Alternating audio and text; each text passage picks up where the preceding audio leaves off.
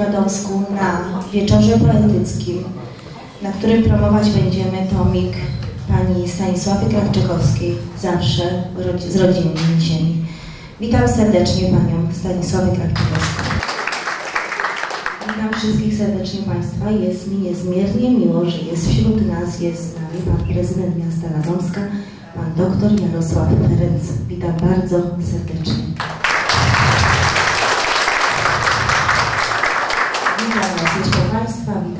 Media. Y, dzisiejsze spotkanie promujące tomik, o którym wspomniałam, poprowadzi Pan Paweł Dudek. Witam i oddaję głos.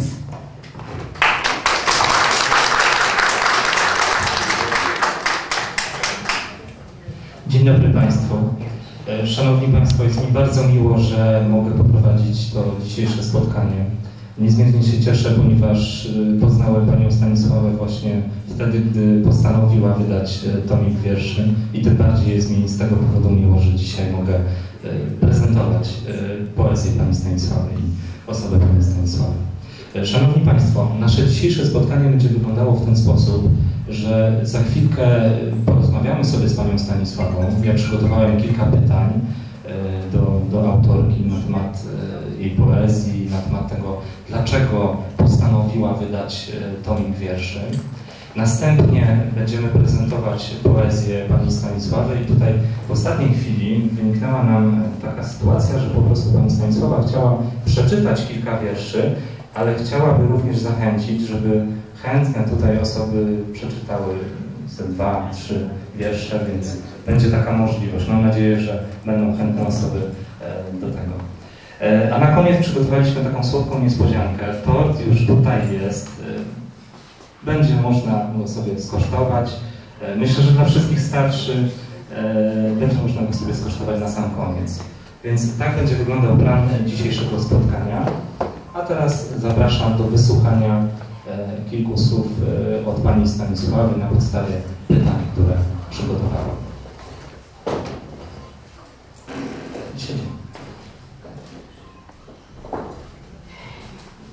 Niespodziankę, jak dzisiaj mam, to po prostu tęskniłam za tym,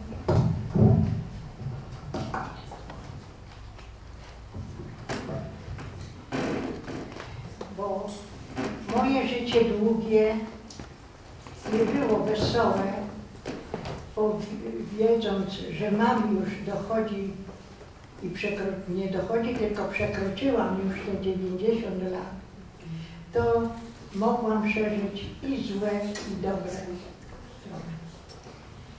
Ale cieszę się bardzo, że doczekałam takiej chwili, że możemy się spotkać spokojnie że możemy się razem cieszyć, że mogę wykazać to, czego najbardziej pragnęłam w życiu, bo pragnęłam bardzo, żeby się wykształcić, ale wojna i sytuacje, jakie były w kraju i w ogóle w tych latach nie pozwoliły. I to mnie prześladuje, tą gorycz odczuwam do dziś. I właśnie dlatego, siedząc samotnie,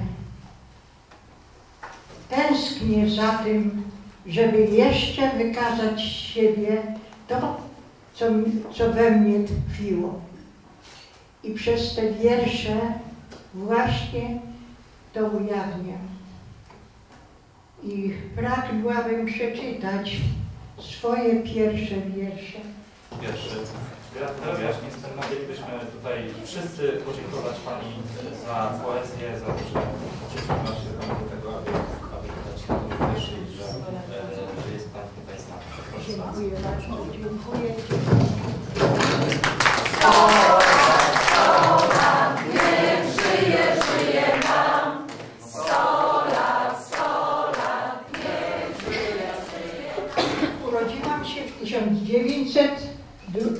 26 roku w miejscowości Żaby w gminie Dobryszyce. Moi rodzice prowadzili gospodarstwo rolne. Mieli siedmioro dzieci Ja z rodzeństwa byłam najmłodsza. W 1939 roku wybuchła wojna. Wojna doprowadziła rodziców do ruiny i pokrzyżowała moje marzenia. Byłam zdolna, pragnęłam zdobyć większe, wyższe wykształcenie. Przez pięć lat niemieckiej niewoli żyło się w ciągłym strachu, ale woziliśmy żywność do Warszawy z koleżanką Kazią Warcholińską. Kazia miała w Warszawie matkę chrzestną. Męża jej zastrzelili, została z dwojgiem dzieci. Mieszkała na ulicy Wiśniowej. Tam dostarczaliśmy żywność. Choć Niemcy pociągi zatrzymywali i paczki na peron wyrzucali, nie brakowało nam odwagi. Mieliśmy niejedną przygodę. Tak spędziłam swoje najmłodsze lata, najcenniejsze lata. Rozgoryczona. W 1945 roku wyszłam za mąż. Pozostałam na ojcowiźnie w gospodarstwie. Urodziłam córkę Monikę w 1947 roku i syna pięć lat później. Dzieci były dla mnie najważniejsze. Wielkim szczęściem zdo, zdobyłam, za, zadbałam, by zdobyli to, czego nie mogłam ja. Córka posiadała tytuł naukowy.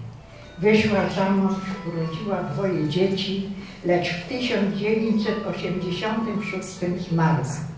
Zostawiła dwie sieroty. Dzieci wychowałam ja do dorosłości i dałam możliwość wykształcenia. Obecnie mieszkam w Gomnicach. Syn przyjeżdża, zaopatruje mnie. Mam wspaniałych sąsiadów. Pani Ania Walczak zastępuje mi córkę. W gronie emerytów z przewodniczącym Janem Kowalskim i Chondryką Witaleską jest nam wesoło. Proszę się pokazać.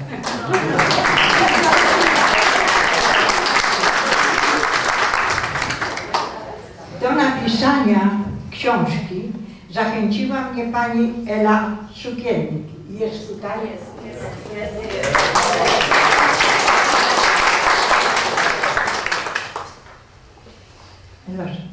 I pani Edmunda Bogdanko.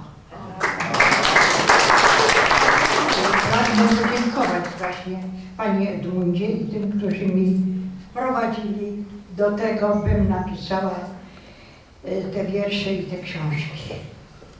Ale do, do stowarzyszenia ponad należę. Spotykam, spotykamy się w miłym gronie. To dla mnie szkoła i wielki, właśnie w szkole zdobyłam przez życiowe, szkołę zdobyłam przez życiowe doświadczenia, a uskładało się dużo przez tak długie lata. Za pomoc, miłość, życzliwość, zrozumienie z głębi serca dziękuję i przez, przez całą nie przestanę dziękować do końca mojego życia.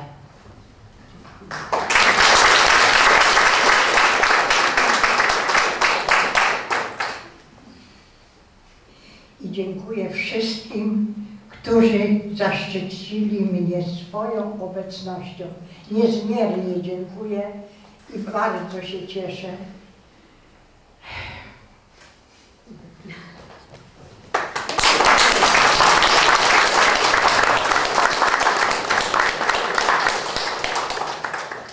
Moje tomiki pozostaną w pamięci, nie tylko w tym y, gronie i w tym okresie czasu, ale i dalej będą przypominać życie wiejskie, życie trudne i życie, jakie toczyło się przez te moje, moje 90 lat. Dziękuję.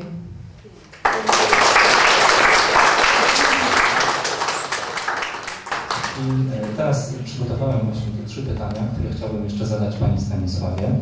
E, Mianowicie, e, pierwsze pytanie, ono już troszeczkę tutaj odpowiedź na nie się pojawiła. Chciałbym zapytać, skąd pomysł, aby wydać tomik wierszy?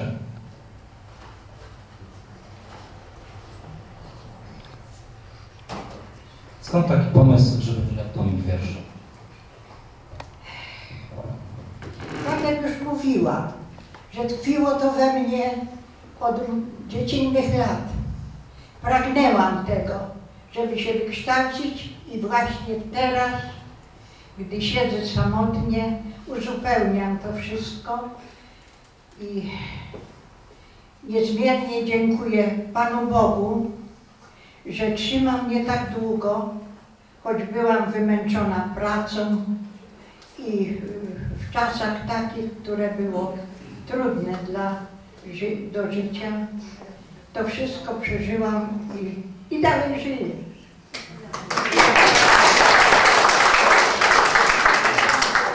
Proszę powiedzieć kilka słów na temat y, tematyki Pani wierszy. Jakie tematy Pani porusza, o czym Pani pisze? E, Przeważnie piszę właśnie o y, ludziach, którzy pracowali na roli o życiu wiejskim, bo to mnie jednak gnębi, że je, bo pamiętam rodzice jak żyli i to nie mogę tego zapomnieć, bo przeżywałam razem z rodzicami i z, i z rodzeństwem.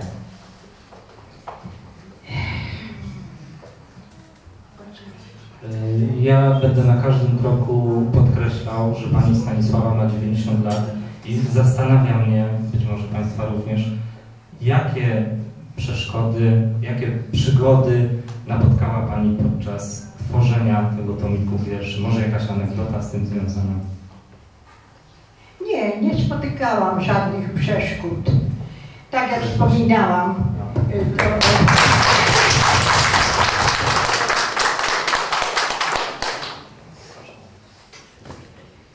I cieszę się bardzo z tego, że pozostawiam po sobie y, pamiątkę, która będzie historyczną pamiątką, bo nie jest tam opisane szczególnie moje życie, bo życie takie jak moje, to omal w każdej rodzinie było, bo były takie czasy.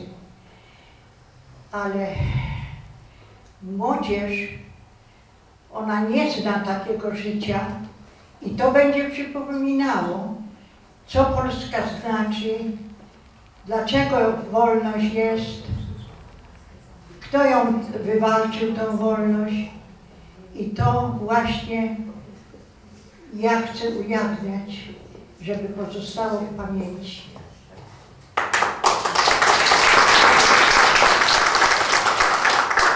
Czy mają Państwo pytania do autorki? To jest właśnie ten moment, żeby publicznie tutaj zadać pytanie i usłyszeć odpowiedź. Czy są jakieś pytania? Ktoś chciałby o coś zapytać? Proszę odważnie krytykować. Wszystko przyjmę z ochotą, bo życie jest życiem i W jakim wieku Pani zaczęła pisać y, tą poezję pierwszą? mając już 80 lat.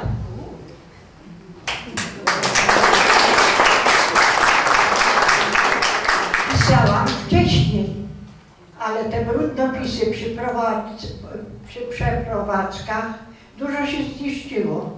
Także, y, ale jednak w pamięci mam to szczęście, że mam tą pamięć i odtwarzałam. Czy ktoś z Państwa jeszcze zapytam. E, Kochana Stasieńko, nasza najdroższa, dla, ja dam silny głos. Dlaczego ty jesteś zawsze taka radosna i taka kochana? Powiedz, co w tobie jest takiego, że tak, w tobie jest tak wiele woli życia i takiej radości w sumie. Pomimo tych ciężkich lat, które przeżyłaś, bo przecież w twoich tomikach poprzednich tam są również takie sytuacje. No tak chciałem zapytać. Powiedz. po prostu Cieszę się życiem. Doceniam to życie.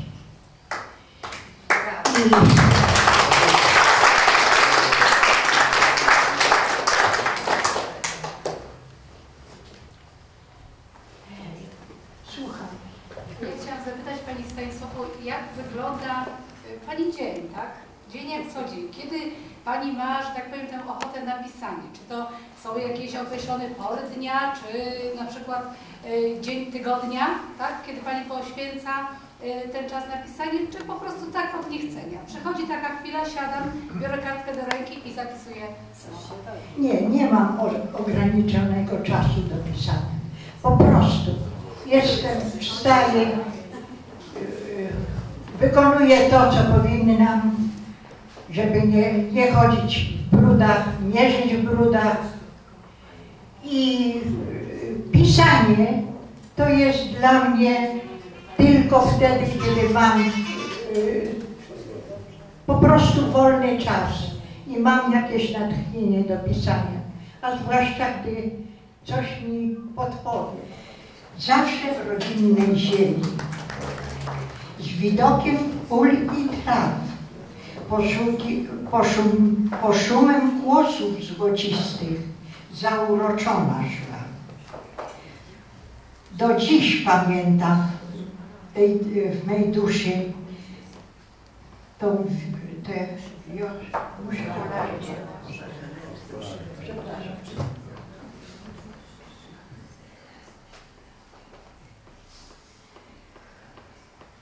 Do dziś przemawia w mej duszy ku wiośnie, życiu i szczęściu ten chleb z rodzinnej ziemi, niezapomniany smak. Dodawał sił rolnikom, by Polska mogła trwać, ta mała moja wioska to mój rodzinny świat.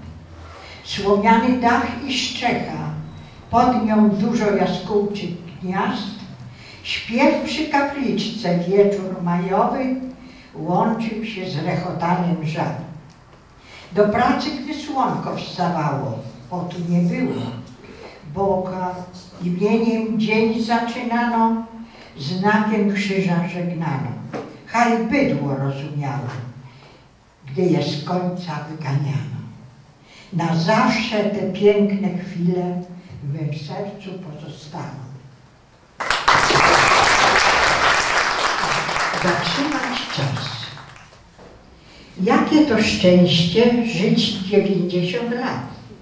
Cieszyć się każdą godziną. Zapomnieć, że szybko miną. Nie liczyłam dni roboczych i niedzieli. Miesięcy lat nie liczyłam. Kiedy włosy kolor zmieniły, nie zauważyłam. Tylko kalendarz daty nie myli. Nie da się zatrzymać czasu, który minął. Radości, wesołości nie zatrzymam. Niewiele potrzeba, by w starości dać trochę radości. Niewiele potrzeba, by płynęło jak białe obłoki. Pięknie jest, jak starzec miłością wzbogaca. Pięknie jest, jak niebo za miłość odpłaca. Pięknie jest, jak ludzie się kochają. Pięknie jest, jak wokół Ciebie w sercach maj. Niech nikomu nie braknie miłości. Każdy może dużo jej dać, potrzebna każdemu z nas. Jestem nikłym pyłkiem w tym potężnym świecie. Jestem kroplą deszczu i piasku ziarnkiem w klepce drzew. Jestem trzciną wiatru i smugą biegnącą do gwiazd, ale jestem. Przez Pana Boga kochana, przez ludzi zapamiętana.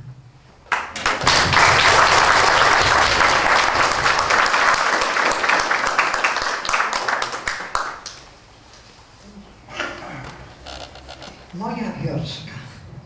Wioska Dobryszyce moją i Polski kolebką była.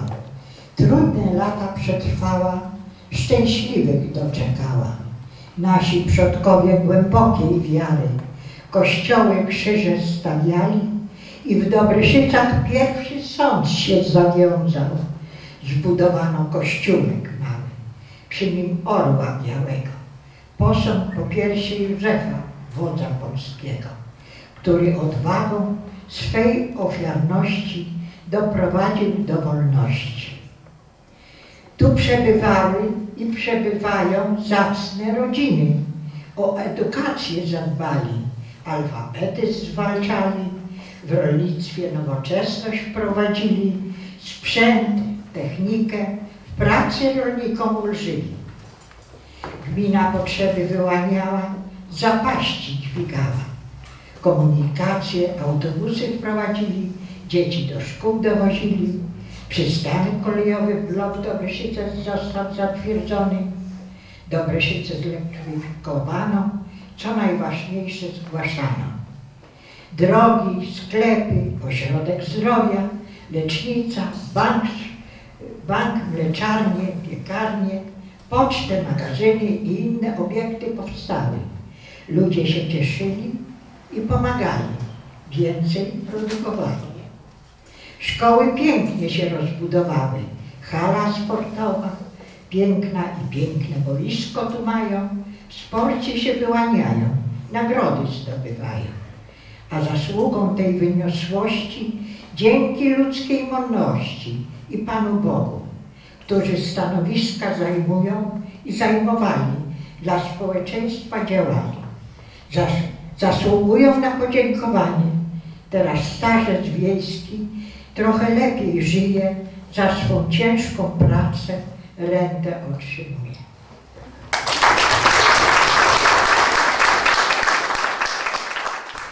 O wolności jakaś droga, kiedy połączyły nas morza i rzeki, z ufnością wzrok znosząc do Boga, nadzieja w każdym sercu polskich trwała.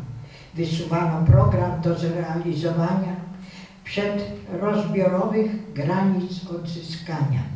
Tłumiono krwawą przez Rosjan siłę.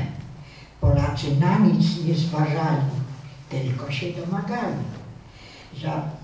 Powiedzieli powstanie styczniowe, świadomi ofiar rodaków, młodych Polaków. Rosjanie do wojska Polaków zaciągali. Oni do lasu pouciekali. Waleczność Polaków sprawiła, że odnowa nastąpiła. Komitet przeobraził się w rząd tymczasowy. Wyszedł manifest chłopskiej odnowy. Przeważająca siła ze wschodu, rząd polski oczekiwał pomocy z zachodu. Obojętność na ludzkie cierpienie nie osłabiło bojowości Polaków. Odzyskali ziemię za wysoką odpłatność. Walka jeszcze bardziej zjednoczyła rodaków. Skutki, straty ogromne. Kościoły, klasztory kasowali, prawa miejskie zabierali, którzy w powstaniu udział brali. Likwidacja Królestwa Polskiego, zakazano języka naszego. Pomimo tylu ucisków, strat, w 1918 roku Polska niepodległość odzyskała. Otarła z łzy z oczu, radość wolności się stała.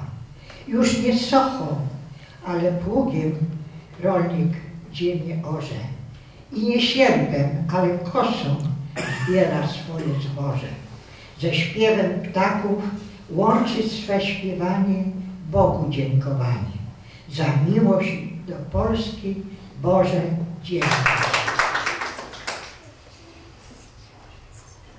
Czy ktoś z Państwa chciałby przeczytać wybrany wiersz Pani Stanisławie?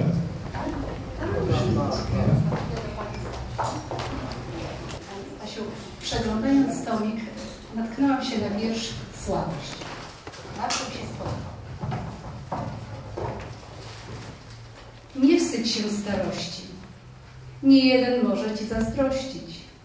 Te słowa zapamiętałam. Często od znajomych słyszałam. Gdy przychodzi chwila załamania, niechęć do mycia, do uczesania, staje naprzeciw obojętności, bo przypomina już czas zazdrości.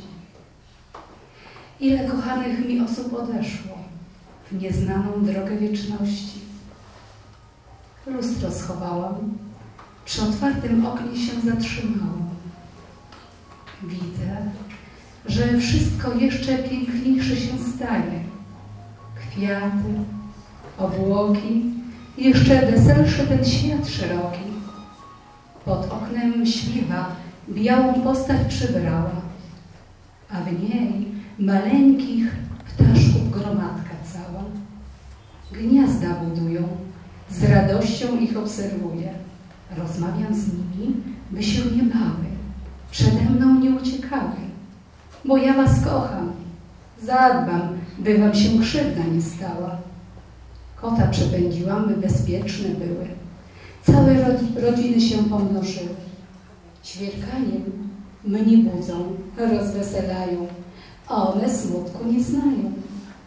Żebym ich głosy odróżniała, razem bym z nimi zaśpiewała. Głos ptaszków dzwonią kwiatów, pod niebiosa wzlata. Tak było i będzie do końca świata. To ja rozumiem. Z wszystkiego się cieszę, lecz przyznam szczerze, wcale się nie śpieszę, by zostać, te, by zostawić ten świat uroczy, wyruszyć w drogę niewiadomą, niezbadaną, przez Boga obiecaną, więc ufność w Boga mnie przekonuje. Zgadzam się z wolą, na co zasługuję. I nie ciekawi mnie ta nowina, kiedy nadejdzie życia doczesnego ostatnia godzina. Bylebym łaskawości Bożej nie utraciła, w krainie jeszcze piękniejszej się cieszyła. I tego z całego serca życzę.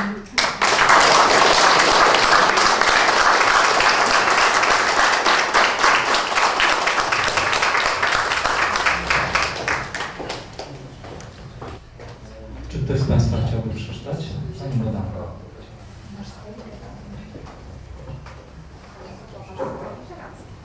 naprawdę wiersz, no i taki dla mnie ciekawy. Zasnąć nie mogę, gdy przesunęłam już wszystkie paciorki, a jeszcze zasnąć nie mogę. Nie oglądam reklam nowoczesności, nie, nie zachwycają mnie uroki młodości. Wtedy włączam swój ekran i wybieram film daleki dalekiej drogi. To cudowne odczucie oglądać w naturalnym ekranie na zawołanie te same postaci, zieleń i niebo. Wszystko jak było, co się zdarzyło, radość i smutek, długa ta taśma. Kto ten film nakręcił, zdziwienie mnie ogarnęło że to wszystko się działo, kręciło i nagrywało. Dziękuję.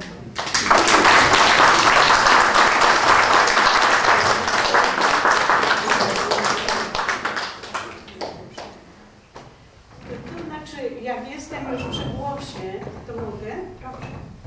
E, to tak. Stowarzyszenie Literackie Ponad chciało e, bardzo pogratulować koleżance po piórze Stasi e, wydania tomiku wierszy. E, życzymy wytrwałości, dużo zdrowia i wszystkiego, co najlepsze i pokonywania przeszkód życiowych z uśmiechem, tak jak do tej pory, z wytrwałością, z werwą i tak jak to pani Stasia czyni. Wszystkiego, co najlepsze. I teraz na ręce Stasi od naszego stowarzyszenia życzenia i kwiaty i wszystkiego, co najlepsze. Przykład takim słonecznikiem, takim słoneczkiem zawsze. Taka radosna. Kochamy Cię po prostu, Stasiu.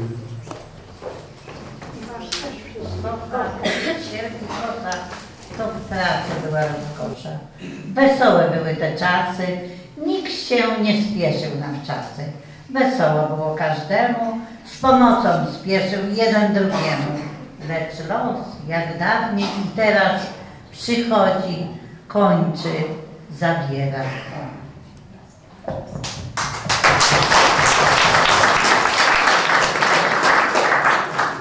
Gdy życie zawodzi, jeśli Bóg dopuścił, że Ty cierpisz, to tylko dlatego, że zbliża się dobro, o którym Ty nie wiesz.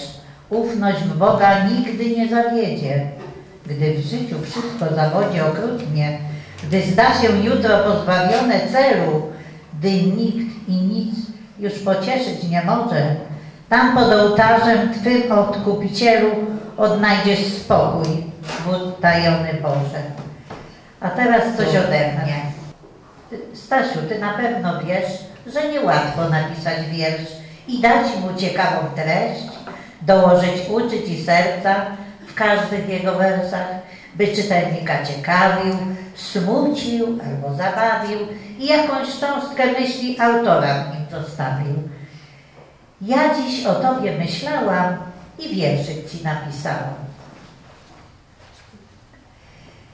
Skromna kobieta z Dobryszyckiej wioski, ale i z Gomnickiej, przeżywała w swym życiu radości i troski, a może i więcej od innych w życiu bólu miała, że to, co przeżyła, na papier przelała. Z Twych książek Twoje życie poznajemy, miłość do ludzi, do rodzinnej ziemi, bo Ty, Stasiu, więcej tych talentów miałaś, kiedyś podobno nawet pięknie wyszywałaś. Los nas nie oszczędza, czyś stary, czy młody, daje każdemu radość i smutku powody. Tyś swym pisaniem żal swój wylewała, to dawało Ci radość i wolę przetrwania. Dziś jesteśmy z Tobą, słuchamy poezji, że jeszcze coś napiszesz, to jesteśmy pewni. Żyj nam, Stasiu, sto lat, bądź zdrowa jak ryc, kochamy Cię wszyscy, żyj i dalej pisz.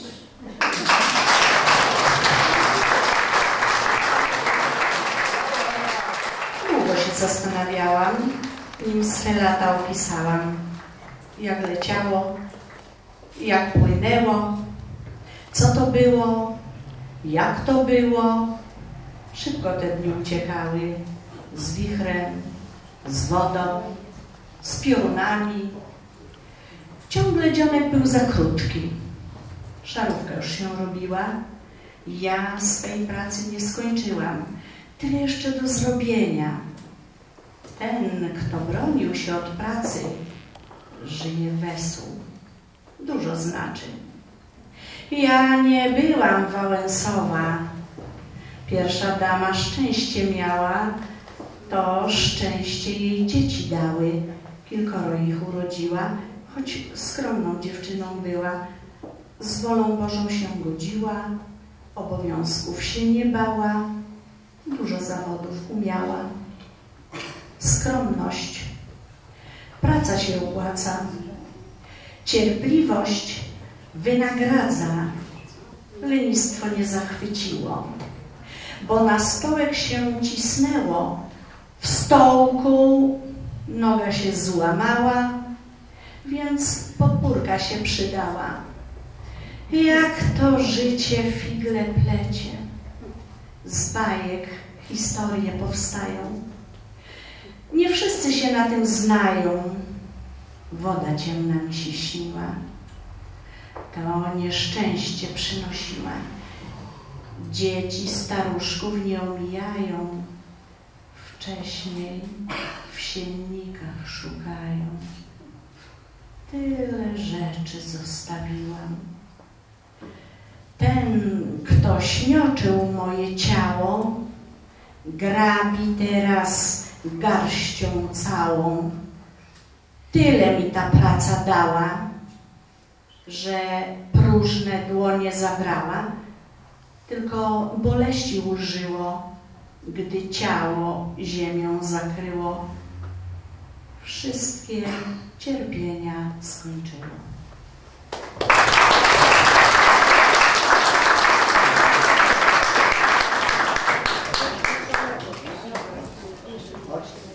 Można jeszcze?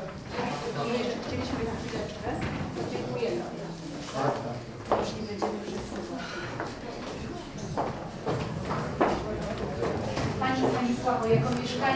imienny towarzysza, tak?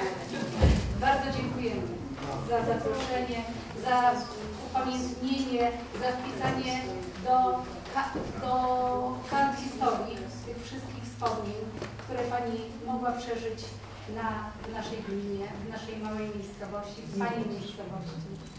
Serdecznie Panią też zapraszamy, one zawsze są otwarte dla Pani. Gmina są. Dziękuję i niepotrzebne te prezenty. To trzeba, to trzeba się opiekować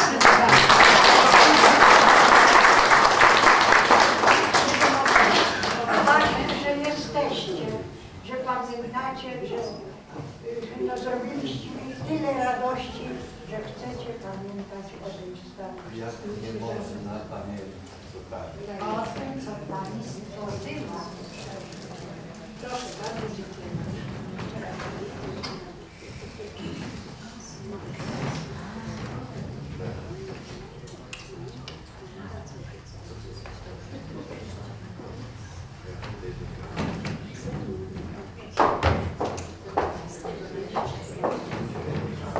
Siedziałam z Panią z jednego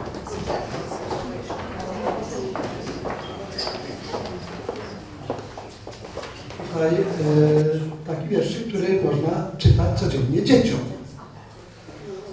Stasieńka nasza ukochana napisała taki wierszyk Pszczółka Maja. Pszczółka Maja długo żyła. Najbardziej dzieci lubiła i latała i śpiewała, miodem buzię smarowała, żeby smacznie zasypiały. Ale dzieci spać nie chciały. Maje oglądać wolały, śmiechu i radości w koło, koło nosa przeleciała, to żądełko pokazała i fruwała i brzęczała, aż dzieci pousypiała. Zasypiały, też śpiewały, bo słodziutkie minki miały. Pszczółka Maja przy nich stała i kołderką przykrywała.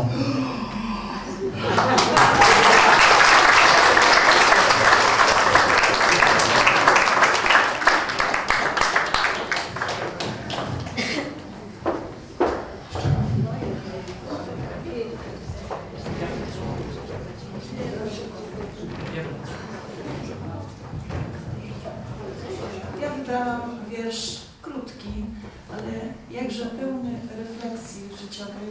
Jest to y, dla mnie i sądzę, że nie tylko dla mnie taki y, drogowskaz na życie.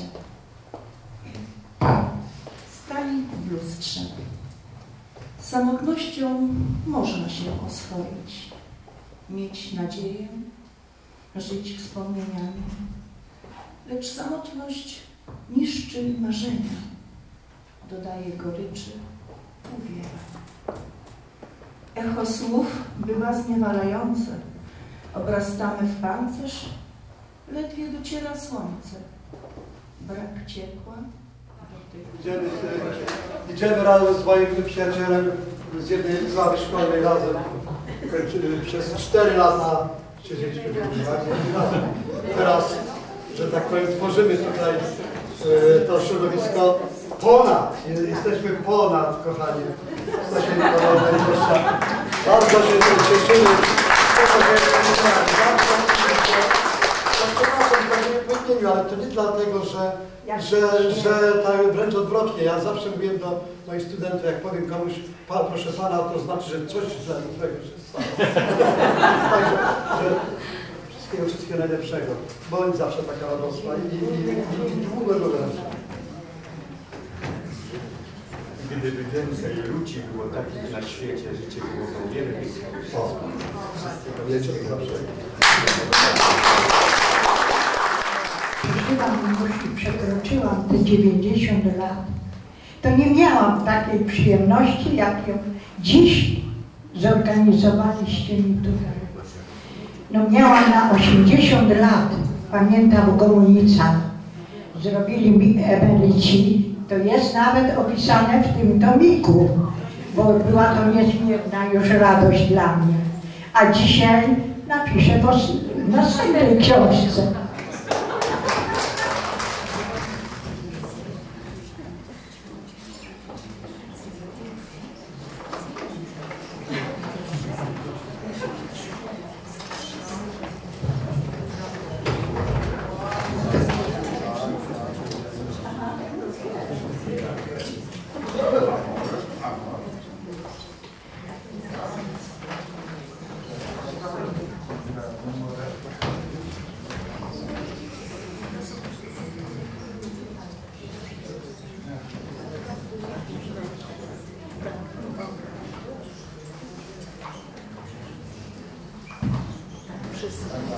Wszystkiego, wszystkiego najlepszego.